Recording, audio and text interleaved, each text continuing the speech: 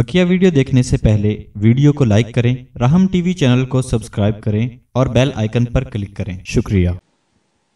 जैसे हमारे उस्ताद तफसीर, इमाम अहल सुन्नत हज़रत मौलाना सरफराज खान सफदर गुजरावाला, मैं तफसीर उनसे पढ़ी है। बड़े पाए के आलिम, बड़ी इल्म मार्फत, और ख़ुद फरमाया करते थे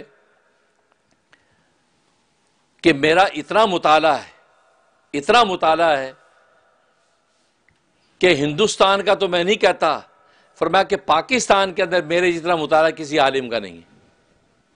और हाफजा उनका इतना मज़बूत, एक बार तो तफसीर पढ़ाते फरमाया कि जिस बात को हम एक दफ़ा देख लेते हैं, मुताले में आ जाती वो चीज़ तो फरमाया कि मैं यू, यूँ निगाह उठाता हूँ तो वो बिल्कुल सामने मेरी लिखी हुई आती है।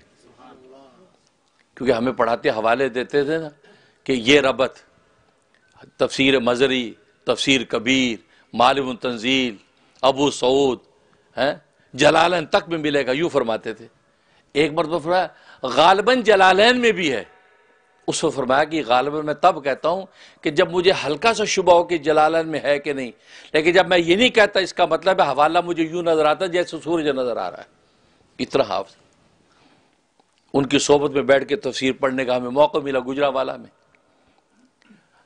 तो वो फरमाया करते थे कि अल्लाह ने देखो, पेट यहाँ रखा है और आँखें यहाँ रखी है, सर ऊपर रखा है और टांगे नीचे रखी हैं।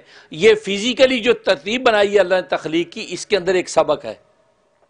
सबक ये है कि कदम बढ़ाओ तुम अपनी दुकान की तरफ़, कदम बढ़ाओ तुम अपने दफ्तर की तरफ़ कस्बे मुआश के लिए।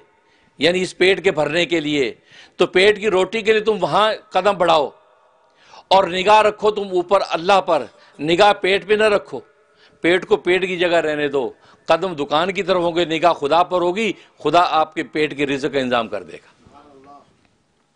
लेकिन फरमाया आज हमने ये कर लिया, इस पेट को सर पे सवार कर लिया पेट हमारे सर पर है। हम ऊपर देखते पेट नज़र आता है। नीचे देखते पेट नज़र आता है, लिहाजा फिर ना खुदा नज़र आता है, ना खुदा की कोई जो कृष्ण साजी नज़र आती है, इस पेट के लिए पागल हो रहे हैं।